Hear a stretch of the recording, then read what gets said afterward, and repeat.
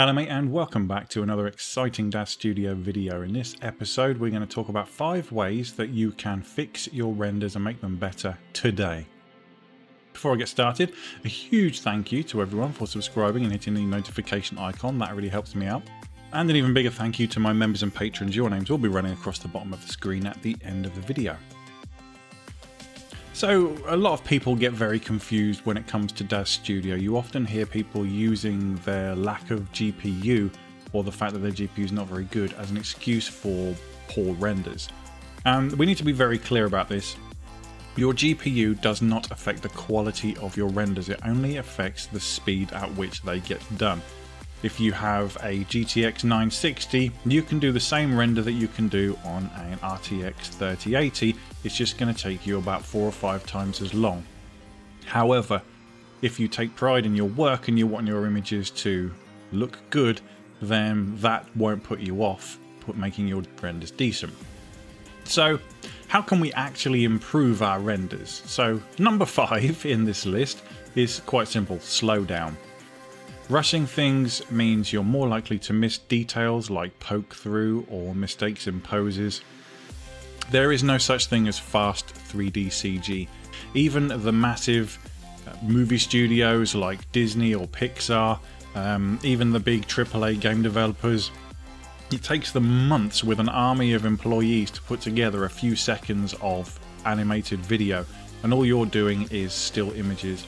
So if you're trying to rush through and push out 30 renders in a week because you've got a deadline to meet because you've overpromised to your patrons or you just, you know, trying to rush through to get it done quicker, the only piece of advice I can give to you on this one is stop, take your time and deal with everything. Make sure you get it just right before you press the render button because there's nothing annoying, more annoying than getting an hour into a render only to find out that there's a glaring error that you're going to have to fix. So, or start your render again. On that 5B, I would say plan ahead. Think about what your render is going to look like at the end and make sure that you plan for that. Make sure you understand what resources you're going to use.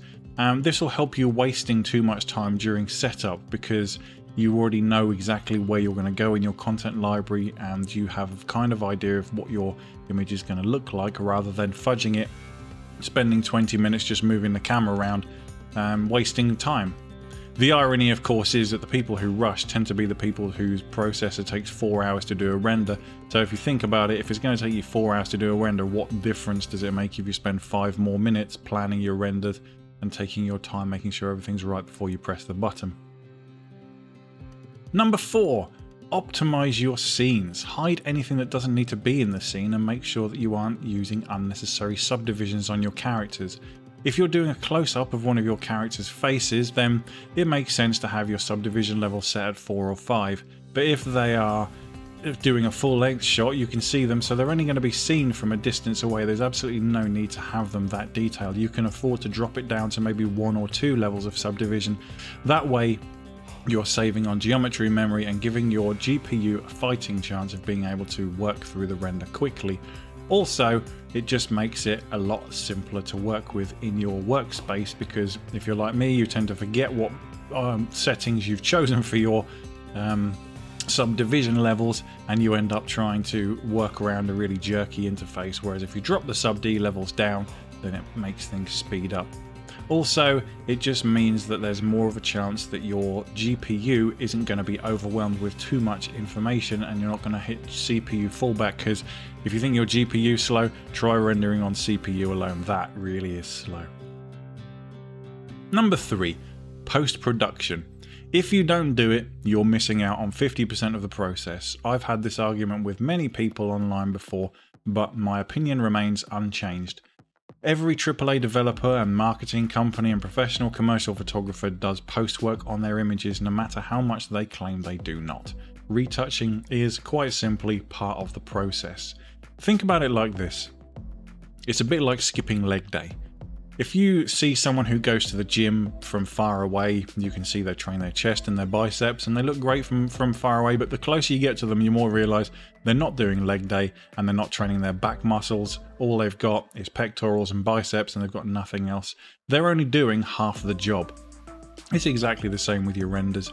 Just pumping things out of Daz Studio and sticking them straight into a PC game is a shortcut to making yourself look amateurish. Just take a little bit of time. By the time you've done 20 or 30 renders in post, you're going to have that process down to about 5 or 10 minutes. And it also means that you can fix any glaring errors such as poke through or black lines on the forehead simply by using the tools that are available in whichever image editing application you tend to be using. Either way, post-production is a vitally important and necessary part of the process. You can make up all the rationale and excuses you like about not doing it, but if you don't, it simply boils down to laziness.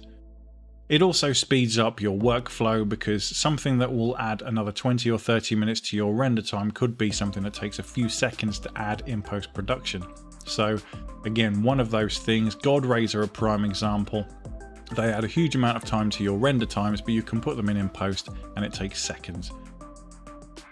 Composition. I would strongly recommend that you take your time and watch some of the videos that I've done on the subject and that watch some photography channels as well. Something that comes up all the time is composition.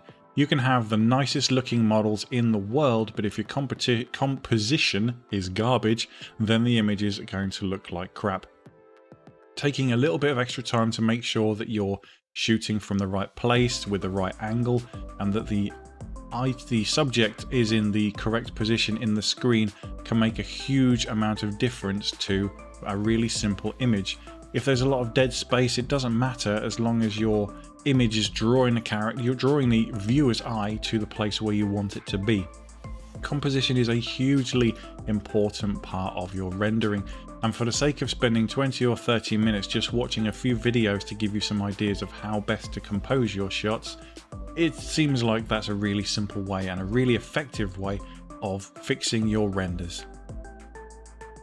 Number one, not necessarily the most important thing, but certainly the most important thing as far as Daz Studio is concerned with learning to light your scenes properly.